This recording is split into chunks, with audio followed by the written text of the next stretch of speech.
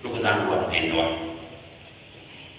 siku hii ya leo kila mmoja wetu apate kujitafuta, na tunapojitafuta, mtakatifu huyu aliendelea na kusema kwamba in the twilight of life God will not judge us on our earthly possessions and human success, but rather on how much we have loved. Upendo bila msalaba sio upendo. Upendo bila kujinyima sio upendo. Upendo bila kujikatalia mambo ya dunia sio upendo. Na ndipo ndugu zangu, kama wewe na mimi tulivyoonyesha kwamba tunaweza kukaamua, You know, it was very interesting. Nakumbuka mahali ambapo hata mimi nilienda chagua niliyetaka. Kuna jamaa mmoja alikuja kama mwenda wazimu hivi, na jamaa akaanza kusema, na mnapoenda huko ndani mchague Kiari. Nadhani alikuwa anaitwa Kiari,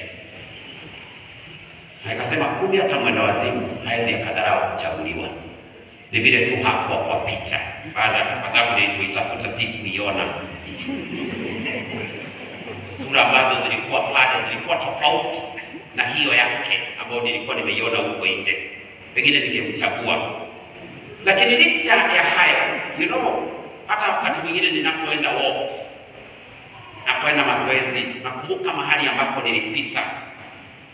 Na nikaona hawa watu ambao huwa wanalala nje, na kuna huyu mtu ambaye alifanya kwanza kusimama, pengine nianze kumwangalia. Mahali ambapo alikuwa amelala ilikuwa ni chini ya mti. Alipoamka, nadhani akitaka kuondoka, ilibidi hata afunge mlango chini ya mti akachukua kakamba kafungilia, sijui kulikuwa na msumari mahali, alafu akafunga hapa pengine, na nikaona amerudisha funguo kwa mfuko. Akasema enyewe, mbinguni tutakuwa na watu wa ajabu, kwa sababu huyu mtu kwake ameona ya kwamba ametoka ndani ya nyumba na ameacha ile nyumba imefungwa. Wangapi wetu ambao tunajiona tuko mbinguni lakini bado tunazunguka hii dunia, na pengine tunapowatazama wengine kama hao, huyo niliyeona, pengine tunadhani ni mwenda wazimu, lakini ukute mwenda wazimu yule uliyemwona duniani humu yuko kwa Mungu. Wewe ambaye rosari haukukosa, Biblia haukukosa, tumshangilie hukukosa, pengine hata adoration ulitenga muda wako kwenda, lakini kwa sababu ndani hakukuwa na upendo unaambiwa fadha mwenye akauza barabara sikujua. Siri tu kwenda nyumbani tukalale. Mungu ni mwema. Utengano ambao Yesu Kristo anazungumzia katika familia ni utengano wa yale maamuzi ambayo watu wanayafanya maishani mwao.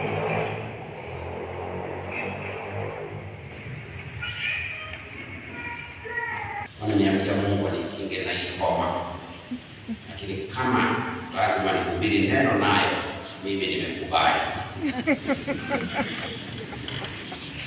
Ndio saa zingine unaona haya maisha sio rahisi. Kuna visababu ambazo mtu anaweza jitafutia na aseme ninakoma sasa, mimi sitasoma hata hiyo misa. Anyway, hiyo tuachane nayo. Hivyo utengano hata Wakristo bado watatengana katika jumuiya zao, sababu kuna wale ambao wanataka tusimame na ukweli na tuendelee kushuhudia ukweli, lakini kuna wale ambao wangependa hata giza iweze kuonekana katika jumuiya zetu. Katika kanisa vivyo hivyo, lakini ili tuweze kufaulu ni lazima ndugu zangu, tusimame imara, tusiumbishwe na maneno ambayo watu wanaweza wakasema, mradi unajua hicho unachoshuhudia ni ukweli na ni ukweli peke yake, na tuambiwa kwamba ukweli utatufanya sisi kuwa watu huru. Tuko hapa kumtumikia Mungu, tuko hapa kumfuasa Mwenyezi Mungu. Hatuko hapa ili tuweze kufuata hizo njia ambazo zitaendelea kuleta giza katika maisha yetu. Acheni tuweze kufanya maamuzi na acheni tutambua kwamba ili tuweze kuorodheshwa kati ya hawa wingu la mashahidi ambalo limo mbele yetu, tunashuhudia yale mambo ambayo waliweza kutenda na hata wakaweza kufa kwa ajili ya msimamo wao. Na leo naomba tu ni wakumbushe juu ya mtakatifu Laurenti ama Lawrence. Mtakatifu huyu ambaye alichaguliwa kuwa mweka hazina wa kanisa kule Roma na Baba Mtakatifu Sixtus wa pili kuanzia mwaka wa mia mbili hamsini na moja hadi mwaka wa mia mbili hamsini na nane na aliandamana na Baba Mtakatifu Sixtus wa pili kila mahala ambapo walienda. Waliposhambuliwa wakati utawala wa Valeria, tunaambiwa kwamba Sixtus alipokamatwa, Lawrence alimfuata na akamwambia, miaka yote ambapo nimekuhudumia hujawahi kuniacha, na sielewi kwa nini mnaniacha nyuma. Na Sixtus kabla ya kuuawa alimwambia Lawrence, baada ya siku tatu utanifuata. Na kweli hayo maneno yalitimia, kwa sababu kiranja wa Roma alimwagiza Lawrence aliyejua kwamba ndiye anayesimamia mfuko wa kanisa aweze kuleta utajiri huo kwake. Na Lawrence kwa busara na hekima aliyojaliwa alienda akauza vitu ambavyo vilikuwa za dhamana za kanisa, na pesa zote akachukua akagawia maskini na wote waliokuwa ni wahitaji.